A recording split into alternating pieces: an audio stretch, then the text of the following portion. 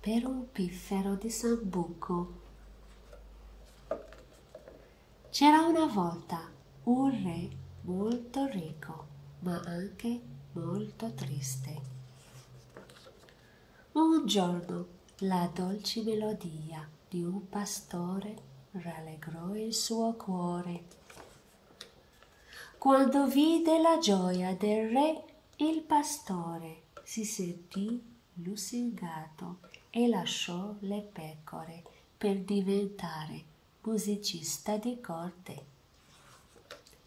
Al castello i giorni trascorrevano felici, con musica, balli e tutte le comodità. Ma ben presto la nostalgia delle pecore si impadroni del pastore e anche delle sue melodie.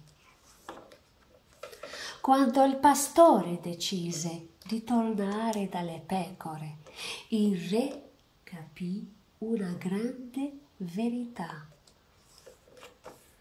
Né corone, né abite pregiate valgono la melodia di un sorriso.